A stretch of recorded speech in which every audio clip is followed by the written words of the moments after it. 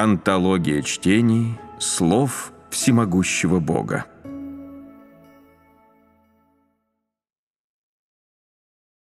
Божий труд, Божий характер и сам Бог. Часть первая. 3. Бог создает радугу как символ своего завета с человеком. Бытие, глава 9, стихи с 11 по 13. «Поставляю завет мой с вами, что не будет более истреблена всякая плоть водами потопа, и не будет уже потопа на опустошение земли. И сказал Бог, «Вот знамение завета, который я поставляю между мной и между вами, и между всякою живою душою, которая с вами в роды навсегда. Я полагаю радугу мою в облаке, чтоб она была знамением завета между мною и между землею. Далее давайте посмотрим на эту часть Писания о сотворении Богом радуги как символа своего завета с человеком. Большинство людей знает, что такое радуга, и слышали некоторые истории, связанные с радугой. Что касается библейской истории про радугу, некоторые люди верят этому, другие считают, что это легенда, а третьи вообще не верят. Как бы то ни было, все, что связано с радугой, это все, что когда-то сделал Бог, и то, что произошло в процессе Божьего управления человеком. Эти вещи с точностью были записаны в Библии. Эти записи не говорят нам о том, какое настроение было у Бога в то время или какие намерения крылись за словами, изреченными им. Кроме того, никто не может по достоинству оценить то, что чувствовал Бог, когда Он произносил эти слова. Тем не менее, Божий настрой относительно всего этого открывается между строками текста – будто бы мысли Бога того времени выпрыгивают со страницы в каждом слове и фразе Божьего Слова. Божьи мысли — это то, что должно вызывать беспокойство в людях и что им следует попытаться максимально узнать. Это потому, что Божьи мысли тесно связаны с человеческим пониманием Бога, а человеческое понимание Бога является незаменимым звеном во вхождении человека в жизнь. Итак, о чем думал Бог в то время, когда это произошло? Изначально Бог создал человечество, которое в его глазах было весьма хорошим и близким к нему. Но они были уничтожены в результате потопа, после того, как восстали против него. Было ли больно Богу, что такое человечество просто мгновенно исчезло. Конечно, ему было больно. Так как же он выражал эту боль? Как это было записано в Библии? В Библии это записано так. «Поставляю завет мой с вами, что не будет более истреблена всякая плоть водами потопа, и не будет уже потопа на опустошение земли». Это простое предложение раскрывает Божьи мысли. Разрушение мира причинило ему большую боль. Говоря человеческим языком, Бог был очень опечален. Можно себе представить, как выглядела после разрушения потопом земля, некогда полная жизни. Как выглядела на тот момент земля, некогда изобиловавшая человеческими существами – нет ни человеческих жилищ, ни живых существ. Кругом вода и полный хаос на поверхности воды. Была ли такая сцена изначальным замыслом Бога, когда Он сотворил мир? Конечно же нет. Изначальный замысел Бога заключался в том, чтобы видеть жизнь по всей земле, чтобы видеть человеческие существа, которые Он создал для поклонения Ему – а не только чтобы Ной был единственным поклоняющимся ему и тем одним, кто мог бы ответить на его призыв закончить то, что ему было поручено. Когда человечество исчезло, Бог увидел не то, что изначально задумал, а полную противоположность. Как же могло не болеть его сердце? Поэтому, когда Бог открывал свой характер и выражал свои эмоции, Он принял решение. Какое решение Он принял? Как завет с человеком, как обещание, что Бог больше не разрушит человечество потопом. В то же время она должна была рассказать людям о том, что Бог когда-то разрушил мир потопом, чтобы человечество вечно помнило, почему Бог так сделал. Было ли уничтожение мира на этот раз тем, чего Бог хотел? Это было определенно не то, чего Бог хотел. Мы можем представить себе небольшую часть жалкого зрелища, которое представляла собой Земля после разрушения мира. Но мы не можем даже близко себе представить, что это была за картина в то время в Божьих глазах. Можно сказать, что ни нынешние, ни тогдашние люди, никто не способен представить или оценить то, что Бог испытывал, когда Он увидел эту картину, этот образ мира после уничтожения его потопом. Бог был вынужден это сделать из-за человеческого непослушания, но боль, переживаемая в сердце Бога из-за разрушения мира потопом, это реальность, которую никто не может ни понять, не оценить. Вот почему Бог заключил завет с человечеством, который был напоминанием людям, что некогда Бог сделал что-то подобное, и чтобы поклясться им, что Бог больше никогда таким способом не разрушит мир. В этом завете мы видим Божье сердце, мы видим, что Божье сердце болело, когда Он уничтожил человечество. Говоря человеческим языком – когда Бог уничтожил человечество и увидел, что оно исчезает, его сердце плакало и истекало кровью. Разве это не лучшее описание случившегося? Эти слова используются людьми для того, чтобы проиллюстрировать человеческие эмоции. Но поскольку человеческий язык недостаточно выразителен, использование их для описания Божьих чувств и эмоций, как представляется – не так уж и плохо для меня и не является чрезмерным. По крайней мере, оно дает очень яркое, очень уместное понимание того, какое настроение было в то время у Бога. О чем вы будете думать теперь, когда снова увидите радугу? По крайней мере, вы вспомните, что Бог однажды был в скорби после того, как разрушил мир потопом.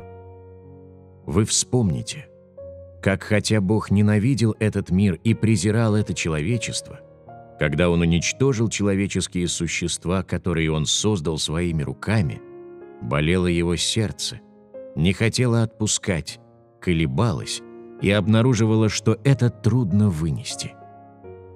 Его единственным утешением была семья Ноя из восьми человек. Именно сотрудничество Ноя – сделало его напряженные усилия по созданию всего нового оправданными. В то время, когда Бог страдал, это было единственным, что могло компенсировать его боль. С этого момента Бог возложил все свои ожидания от человечества на семью Ноя, надеясь, что они смогут жить под его благословением, а не под проклятием, надеясь, что они никогда не увидят, как Бог снова уничтожит мир потопом, и также в надежде, что они тоже не будут уничтожены. Какую сторону Божьего характера нам нужно понять из этого? Бог презирал человека, потому что тот был во вражде с ним, но в его сердце забота, участие и милость по отношению к человечеству оставались неизменными.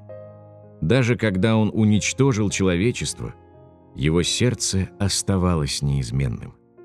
Когда человечество было полно растления и было непокорным Богу в определенной степени, Богу пришлось по причине своего характера и своей сущности и в соответствии со своими принципами уничтожить это человечество.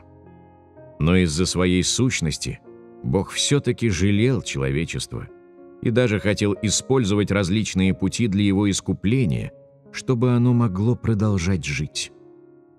Вместо этого человек противодействовал Богу, продолжал не повиноваться Ему и отказался принимать Божье спасение, то есть отказался принять Его добрые намерения. Независимо от того, как Бог взывал к ним, напоминал им, снабжал их, помогал им или терпел их, человек не понимал и не ценил это. Он даже не обращал внимания. В своей боли Бог по-прежнему не забывал проявлять к человеку свою максимальную терпимость, ожидая, что человек изменится. После того, как он достиг своего предела, он без всяких колебаний сделал то, что был должен. Иными словами, существовал определенный период времени и процесс с того момента, когда Бог запланировал уничтожение человечества, и до официального начала его работы по разрушению человечества. Этот процесс существовал, чтобы дать человеку возможность обернуться, и это был последний шанс, который Бог дал человеку. Так что же Бог делал в этот период перед уничтожением человечества? Бог проводил большой объем напоминающей и побудительной работы. Несмотря на такую боль и печаль, которые испытывал Бог, Он продолжал проявлять заботу, участие и избыточную милость по отношению к человечеству. Что же мы видим в этом? Несомненно, мы видим, что Божья любовь к человечеству реальна, и что она не просто слова.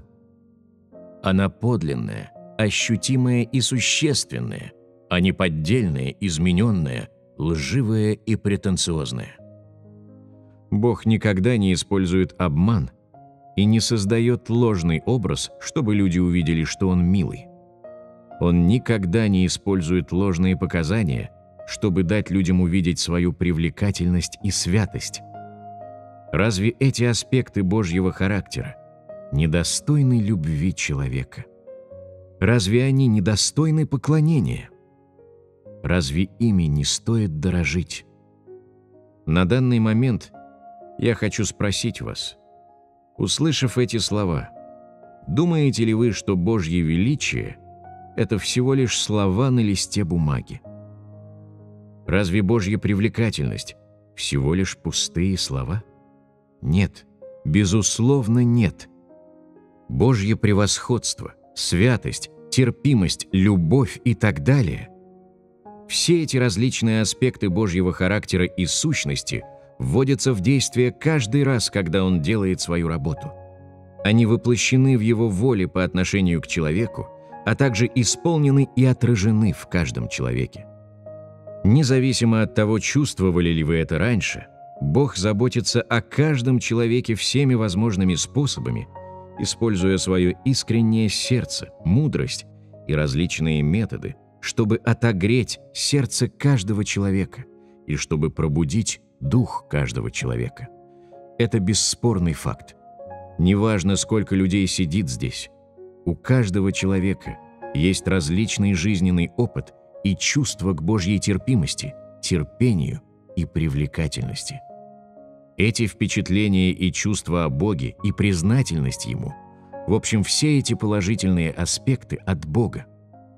Поэтому, интегрируя опыт и знания всех о Боге и сочетая их с нашим прочтением этих библейских отрывков сегодня, сложилось ли у вас более реальное и правильное понимание Бога? После прочтения этой истории и понимания некоторых сторон Божьего характера, раскрытого через это событие, какое у вас складывается новое понимание Бога? Возникло ли у вас более глубокое понимание Бога и Его сердца? Испытываете ли вы иные чувства теперь, когда вы снова смотрите на историю Ноя? По вашему мнению, была ли необходимость в том, чтобы делиться этими стихами из Библии. Теперь, когда мы побеседовали о них, думаете ли вы, что в этом была необходимость? Необходимость была, правда? Даже несмотря на то, что прочитанный нами рассказ – это подлинная история работы, которую когда-то проделал Бог. Моя цель заключалась не в том, чтобы вы поняли детали этих историй или этого героя, и не в том, чтобы вы могли изучить его характер, и уж, конечно, не в том, чтобы вы вернулись и снова изучали Библию. Понимаете? Так помогли ли эти истории вашему знанию Бога? Что эта история добавила к вашему пониманию Бога? Скажите нам, братья и сестры из церквей Гонконга. Мы видели, что Божья любовь — это то, чем не обладает никто из нас, обольщенных людей. Скажите нам, братья и сестры из корейских церквей. Божья любовь к человеку реальна. Божья любовь к человеку несет в себе его характер, а также его величие, святость, превосходство и терпимость. Через такую историю мы можем лучше понять, что все это – часть Божьего характера, и что нам стоит стараться получить более глубокое представление о нем. Через наше общение я могу видеть Божью праведность и святой характер, а также могу видеть Божью озабоченность по отношению к человечеству, Божью милость по отношению к человечеству, и что все, что Бог делает, и каждая мысль, и идея, которая есть у Него, раскрывают Его любовь и заботу о человечестве. Раньше я думала, что Бог использовал потоп для уничтожения мира, потому что человечество стало порочным в определенной степени, и что Бог как будто уничтожил человечество, потому что питал к ним отвращение — Лишь после того, как Бог говорил сегодня об истории Ноя и сказал, что Божье сердце истекало кровью, я понимаю, что Бог на самом деле неохотно расставался с этим человечеством. Только потому, что человечество было слишком непослушным, у Бога не оставалось выбора, кроме как уничтожить их. Более того, Божье сердце в это время было очень опечалено. Из этого я вижу в Божьем характере его заботу и участие по отношению к человечеству. Это то, о чем я раньше не знала. Очень хорошо. Дальше можете вы отвечать. Я был очень тронут после прослушивания. Я читал Библию раньше, но я никогда не переживал того, что пережил сегодня, где Бог непосредственно раскладывает все по полочкам, чтобы мы могли узнать Его. То, что Бог таким образом взял нас с собой, чтобы мы увидели Библию, позволило мне понять, что Божья сущность перед человеческим растлением была любовью и заботой о человечестве. С того момента, когда человек был прельщен и до последних дней, даже несмотря на то, что Бог несет в себе праведный характер, его любовь и забота остаются неизменными. Это показывает, что сущность Божьей любви от сотворения мира и до сих пор никогда не меняется независимо от того, прельщен ли человек. Сегодня я увидела, что Божья сущность не изменяется из-за перемен во времени или месте его работы. А также увидела, что независимо от того, создает ли Бог мир или разрушает его после того, как человек обольстился, все, что он делает, имеет смысл и включает его характер. Следовательно, я увидела, что Божья любовь бесконечна и неизмерима, и я также увидела, как уже упоминали другие братья и сестры, Божью заботу и милость по отношению к человечеству, когда Он уничтожил мир. Про это я действительно не знала до этого. Прослушав общение сегодня, мне кажется, что Бог действительно заслуживает доверия, что Он истинно надежный, достойный веры и что Он на самом деле существует. Я по-настоящему ценю в своем сердце — что Божий характер и любовь поистине настолько конкретны. Таковы мои ощущения после прослушанного сегодня. Отлично. Кажется, все вы серьезно отнеслись к тому, что услышали. Заметили ли вы один особый факт из всех этих библейских стихов, включая все библейские истории, которые мы разбирали сегодня? Использовал ли Бог когда-либо собственный язык для выражения своих мыслей или для объяснения своей любви и заботы о человечестве? Есть ли запись, где он использует простой язык для того, чтобы высказать, насколько он озабочен человечеством или насколько сильно любит его? Нет. Разве это не правда? Среди вас много тех, кто прочитал Библию или другие книги. Кто-нибудь из вас видел такие слова? Ответ однозначно нет. То есть в записях Библии, включая Божьи слова и документальное подтверждение его работы, Бог никогда, ни в одну эпоху, ни в один период не использовал свои собственные методы для описания своих чувств или для выражения его любви и заботы о человечестве. И никогда Бог не использовал речь или какие-либо действия, чтобы выразить свои чувства и эмоции. Разве это не факт? Почему я так говорю? Почему для меня важно это упомянуть? Потому что это также содержит Божью привлекательность и Его характер. Бог создал человечество. Независимо от того, обольщены они или следуют за Ним, Бог обращается с человеческими существами как с дорогими Ему людьми, или, как сказали бы человеческие существа, как с близкими Ему людьми – а не как с игрушками. Хотя Бог говорит, что Он Творец и что человек – Его творение, что может звучать как существенная разница в званиях, в действительности же все, что Бог сделал для человечества, намного превосходит отношения такого характера. Бог любит человечество, заботится о нем и проявляет участие к нему – а также постоянно и непрестанно обеспечивает человека средствами к существованию. Он никогда не чувствует в своем сердце, что это дополнительная работа или нечто заслуживающее похвалы. Он также не считает, что спасение людей, снабжение их и дарование им всего является огромным вкладом в человечество.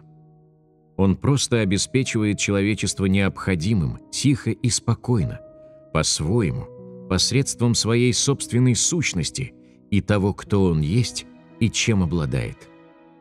Независимо от того, какие объемы снабжения и сколько помощи человечество получает от него, Бог никогда не думает о похвале и не пытается присвоить себе заслугу. Это определяется сущностью Бога, и также является истинным выражением Божьего характера.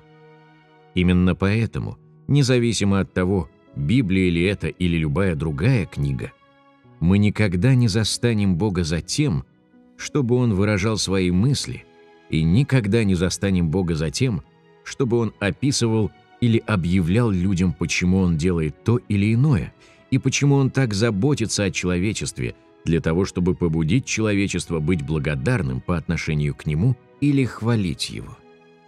Даже когда ему больно, когда его сердце пребывает в невыносимой боли, он никогда не забывает свои обязанности по отношению к человечеству, в то время как он переносит эту боль и мучение в одиночестве и в тишине.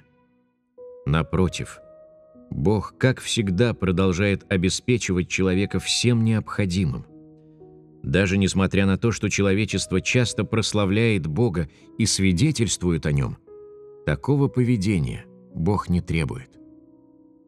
Это происходит потому, что Бог никогда не предполагает, что любое добро, которое Он творит для человечества, можно обменять на благодарность или отплатить.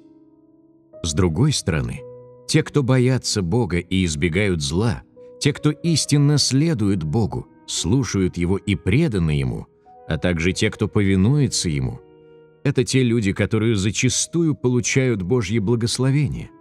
И Бог, безусловно, не спошлет такие благословения. Более того, благословения, которые люди получают от Бога, часто выходят за рамки их воображения, а также за рамки всего, что человеческие существа могут обменять на то, что они сделали или за ту цену, которую заплатили. Когда человечество наслаждается Божьими благословениями, бывает ли кто-то не безразличен к тому, что делает Бог? Проявляет ли кто-либо заботу о том, как себя чувствует Бог? Пытается ли кто-либо понять Божью боль? Вот точный ответ на эти вопросы. Нет. Может ли какое-нибудь человеческое существо, включая Ноя, ценить боль, которую чувствовал Бог в тот момент? Может ли кто-нибудь понять, почему Бог установил завет? Не может. Человечество не отдает должное Божьей боли не потому, что они не могут понять ее, и не из-за пропасти между Богом и человеком или разницы в их статусе. Это скорее потому, что человечеству вообще нет дела до Божьих чувств. Человечество думает, что Бог независим, что Богу не нужны люди, чтобы заботиться о Нем, понимать Его или проявлять к Нему уважение. Бог есть Бог, поэтому у Него нет боли, нет эмоций, Ему не будет грустно. Он не чувствует печали, Он даже не плачет. Бог есть Бог, поэтому Ему не нужны никакие выражения эмоций, и Ему не нужно эмоциональное утешение. Если Ему не нужны эти вещи в определенных обстоятельствах, тогда Он сам решит все и не будет требовать никакой помощи от человечества. И наоборот, именно слабые и незрелые люди нуждаются в Божьем утешении, обеспечении, поддержке и даже в Его успокоении их эмоций в любое время, в любом месте. Такая мысль глубоко прячется в сердцах человечества. Человек слаб, он нуждается в том, чтобы Бог заботился о нем во всех отношениях. Он заслуживает всего участия со стороны Бога, и он должен требовать от Бога всего, что, по его мнению, ему необходимо иметь. Бог силен, у него есть все, и он должен быть попечителем человечества и дарителем благословений. Поскольку он уже Бог, он всемогущ и никогда не нуждается ни в чем от человечества. Так как человек не обращает внимания ни на одно из Божьих проявлений, он никогда не чувствовал Божью печаль, боль или радость. Но в то же время Бог знает все человеческие выражения, как свои пять пальцев. Бог восполняет нужды каждого во все времена и везде, наблюдая за изменяющимися мыслями каждого человека и таким образом утешая и назидая их, и ведя и просвещая их. Касательно всего, что Бог сделал для человечества и цены, которую Он заплатил за них, могут ли люди найти отрывок в Библии или из сказанного Богом до настоящего момента, где четко говорится о том, что Бог требует что-то от человека? Нет. Напротив, независимо от того, как люди игнорируют Божье мышление, Он все еще неоднократно ведет человечество постоянно снабжает человечество необходимым и помогает ему, чтобы позволить следовать Божьим путем, чтобы оно могло получить прекрасное место назначения, которое Бог уготовил для него. Когда речь заходит о Боге, о том, кем Он является и чем обладает, Его благодать, милость и все Его награды будут неспосланы тем, кто любит Его и следует за Ним. Но никогда ни одному человеку он не открывает перенесенную им боль или состояние его разума. И он никогда не жалуется на то, что кто-то не был тактичен в отношениях с ним или не знал его волю. Он просто переносит все это в молчании, ожидая того дня, когда человечество будет в состоянии понять. Почему я это говорю? Что вы видите в том, что я сказал? Есть в Божьей сущности и характере нечто, что легче всего не заметить, нечто, чем обладает только Бог, а не человек, включая тех, о ком думают, что они великие люди, хорошие люди или Бога их воображение. Что это такое? Это Божье бескорыстие. Говоря о бескорыстии, ты можешь подумать, что ты тоже очень бескорыстный, потому что когда дело доходит до твоего ребенка, то ты никогда не торгуешься с ним, но проявляешь щедрость по отношению к нему. Или думаешь, что ты очень бескорыстный, когда дело доходит до твоих родителей? Неважно, что ты думаешь, по крайней мере, у тебя есть понятие слова «бескорыстие», и ты думаешь о нем как о положительном слове, и что быть бескорыстным человеком очень благородно. Когда ты бескорыстный, ты думаешь, что ты молодец. Но нет никого, кто мог бы увидеть Божье бескорыстие среди всего, среди людей, событий и предметов, а также среди Божьей работы. Почему это так? Потому что человек слишком эгоистичный. Почему я так говорю? Человечество живет в материальном мире. Возможно, ты следуешь за Богом, но ты не видишь и не ценишь то, как Бог обеспечивает тебя всем необходимым, любит тебя и проявляет заботу о тебе. Так что же ты видишь? Ты видишь своих кровных родственников, которые любят тебя и которые души в тебе не чают. Ты видишь то, что полезно для твоей плоти. Тебе не безразличны люди и вещи, которые ты любишь. Это так называемое человеческое бескорыстие. Такие бескорыстные люди, однако, никогда не заботятся о Боге, который дает им жизнь. В отличие от Бога, человеческое бескорыстие становится эгоистичным и отвратительным. Бескорыстие, в которое верит человек, пустое, нереалистичное, испорченное, несовместимое с Богом и не имеет к нему никакого отношения. Человеческое бескорыстие существует для него самого – то время как Божье бескорыстие – это истинное откровение Его сущности. Именно благодаря Божьему бескорыстию человек получает от него непрерывный поток всего необходимого для жизни. Возможно, вы не слишком глубоко затронуты этой темой, которую я освещаю сегодня, и просто киваете в знак согласия. Но когда ты попытаешься по достоинству оценить Божье сердце в своем сердце – ты невольно обнаружишь, среди всех людей, вопросов и вещей, которые ты осязаешь в этом мире, только Божье бескорыстие является настоящим и конкретным, потому что только Божья любовь к тебе безусловная и непорочная. Помимо Бога, так называемое бескорыстие других – все подделка, поверхностное, неискреннее. У него есть цель, определенные намерения. Оно несет в себе обмен на что-то и не выдерживает испытания. Вы можете даже сказать, что оно грязное и порочное. Вы согласны? Я знаю, что вы не знакомы с этими вопросами, и что вам нужно время для того, чтобы они улеглись у вас в голове, перед тем, как вы по-настоящему поймете их. Чем больше вы не знакомы с этими темами и вопросами, тем больше это доказывает, что эти вопросы отсутствуют в вашем сердце. Если бы я никогда не поднял эти темы, узнал ли бы о них кто-нибудь хоть немного? Полагаю, вы никогда не узнали бы о них. Это наверняка. Независимо от того, сколько вы можете осознать и понять, одним словом, эти темы, на которые я говорю, это то, чего больше всего не хватает людям, и о чем они больше всего должны знать. Эти темы очень важны для каждого, они драгоценны, и они есть жизнь, и они являются тем, чем вы должны обладать для предстоящего пути.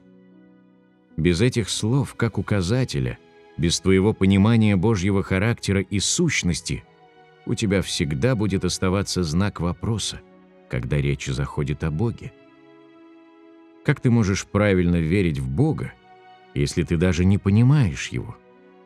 Ты ничего не знаешь о Божьих эмоциях, Его воле, Его душевном состоянии, о том, что Он думает, что делает Его грустным, что делает Его счастливым. Поэтому как ты можешь быть внимательным к Божьему сердцу? Всякий раз, когда Бог расстроен, Он смотрит на человечество, которое вообще не обращает на Него никакого внимания. Человечество, которое следует за Ним и утверждает, что любит Его, но полностью игнорируют его чувства. Как не болеть его сердцу? В Божьей работе управления он искренне выполняет свою работу, разговаривает с каждым человеком и предстает перед ними без всяких колебаний и без утаивания. Но напротив, каждый человек, который следует за ним, скрытен по отношению к нему. Никто не желает активно приблизиться к нему, понять его сердце и обратить внимание на его чувства. Даже те, кто хочет быть приближенным Бога, не хочет приблизиться к Нему, быть внимательным к Его сердцу или пытаться понять Его.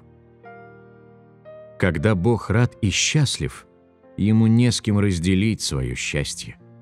Когда Бога неправильно понимают люди – то нет никого, кто утешил бы его израненное сердце. Когда его сердце болит, нет ни одного человека, который готов был бы выслушать его. На протяжении этих тысяч лет Божьей работы управления не было никого, кто понял бы Божьи эмоции, никого, кто осознал или по достоинству оценил бы их, не говоря уже о том, чтобы кто-то встал на сторону Бога, чтобы разделить Его радости и печали. Бог одинок. Он одинок. Бог одинок не только потому, что обольщенное человечество выступает против Него, но больше потому, что те, кто стремится быть духовными, те, кто ищет познание Бога и понимание Его, и даже те, кто готов посвятить всю свою жизнь Ему – также не знают его мыслей и не понимают его характер и эмоции. В конце истории про Ноя мы видим, что Бог использовал необычный способ выразить свои чувства на тот момент.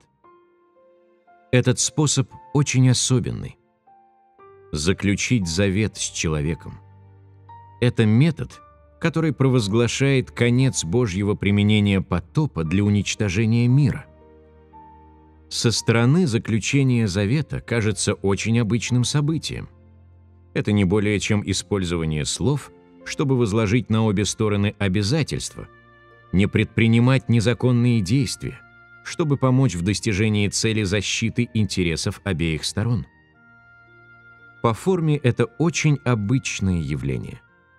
Но принимая во внимание мотивы и значение этого действия со стороны Бога, это является истинным откровением Божьего характера и душевного состояния.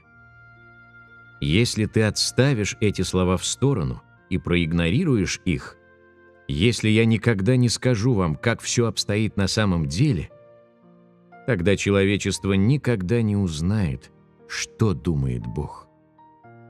Возможно, в твоем воображении Бог улыбается, когда заключает этот завет – или, возможно, выражение его лица серьезно, но независимо от того, какое выражение лица Бог имеет в людском воображении, никто не знает Божье сердце или его боль, не говоря уже о его одиночестве. Никто не может заставить Бога доверять Ему и не может быть достойным Божьего доверия или быть кем-то, кому Он может выразить свои мысли – или с кем может поделиться своей болью. Вот почему у Бога не было иного выбора, как сделать это. На первый взгляд, Бог сделал то, что легко. Распрощался с предыдущим человечеством, разрешая вопрос прошлого и подводя итог своему уничтожению мира потопом. Тем не менее, Бог похоронил боль этого момента глубоко в своем сердце. В то время, когда Богу было некому открыться, Он заключил завет с человечеством, говоря им о том, что больше не будет разрушать мир потопом. Когда появляется радуга, это должно быть напоминанием людям, что это однажды произошло, чтобы предупредить их не делать зла. Даже в таком болезненном состоянии Бог не забыл о человечестве – и по-прежнему проявляет большую заботу о них. Разве это не Божья любовь и бескорыстие? Но о чем же думают люди, когда страдают? Разве не в это время они больше всего нуждаются в Боге? В такие моменты люди тащат Бога к себе, чтобы Он успокоил их. Когда бы это ни случилось, Бог никогда не подведет людей, и Он всегда позволит людям выйти из затруднительного положения и жить в свете. Несмотря на то, что Бог таким образом поддерживает человечество, в сердце человека Бог есть не что иное, как пилюля уверенности, напиток успокоения. Когда страдает Бог, когда Его сердце ранено, чтобы сотворенное существо или какой-либо человек проявил к нему заботу и утешил его, о таком желать, несомненно, слишком большая роскошь для Бога. Человек никогда не обращает внимания на Божьи чувства, поэтому Бог никогда не просит никого и не ожидает, что кто-то сможет успокоить его. Он просто использует свои собственные методы – чтобы выразить свое настроение. Люди думают, что для Бога переживать страдания не такая уж большая проблема. Но только когда ты истинно пытаешься понять Бога, когда ты по-настоящему ценишь Его искренние намерения во всем, что Он делает, только тогда ты можешь понять Божье величие и Его бескорыстие. Даже несмотря на то, что Бог заключил завет с человечеством с помощью радуги, Он никогда никому не говорил о том, почему Он сделал это, почему Он заключил этот завет. То есть Он никогда никому не раскрывал свои истинные мысли. Это потому, что нет никого, кто мог бы понять глубину Божьей любви, которую Бог испытывает к человечеству, которое Он сотворил своими руками. И также нет никого, кто мог бы оценить, сколько боли он перенес в сердце, когда уничтожил человечество? Поэтому, даже если он рассказывает людям о том, что чувствует, они не могут оправдать это доверие. Несмотря на боль, он по-прежнему идет к следующему этапу своей работы. Бог всегда показывает свою лучшую сторону и все лучшее, в то время как сам – спокойно принимает все страдания. Бог никогда не разглашает свои страдания. Вместо этого Он переносит их и ждет в тишине. Божья выносливость не холодная, немая и беззащитная, и не признак слабости. Просто Божья любовь и сущность всегда были бескорыстными.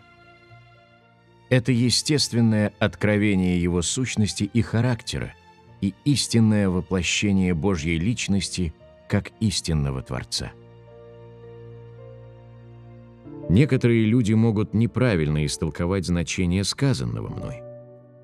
Преследовало ли описание Божьих чувств с такими подробностями цель заставить людей почувствовать жалость к Богу? Преследовало ли это такую цель? Нет.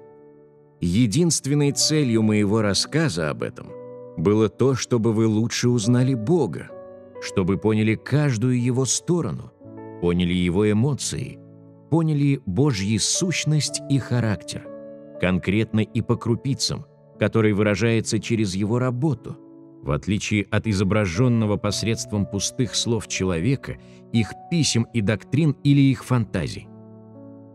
Это означает, что Бог и Божья сущность на самом деле существуют. Они не картины, не вымысел, не создание человека и уж, конечно, не сфабрикованы людьми. Признаете ли вы это сейчас? Если признаете, то мои слова достигли сегодня своей цели. Сегодня мы обсудили три вопроса.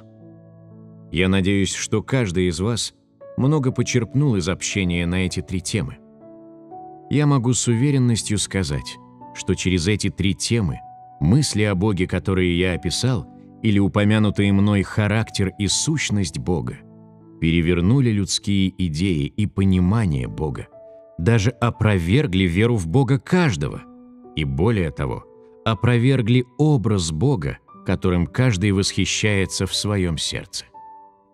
Несмотря ни на что, Я надеюсь, что то, что вы узнали о Божьем характере в этих двух частях Библии, будет полезно для вас. И надеюсь, что после вашего возвращения вы постараетесь это обдумать. Сегодняшнее собрание на этом завершается. До свидания.